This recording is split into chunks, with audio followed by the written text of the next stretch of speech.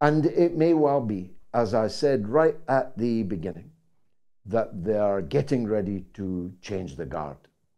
Their problem is a bit like Richard Nixon with Spiro Agnew as his vice president. You remember, famously, he said, Nobody's going to shoot me with this guy next in line.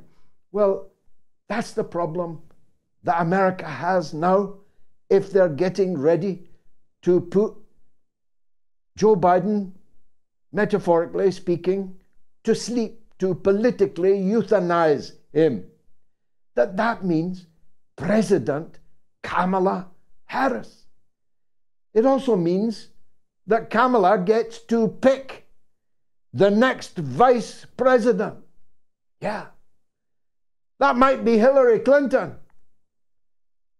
Or it might be Michelle Obama. Might even be Barack Obama.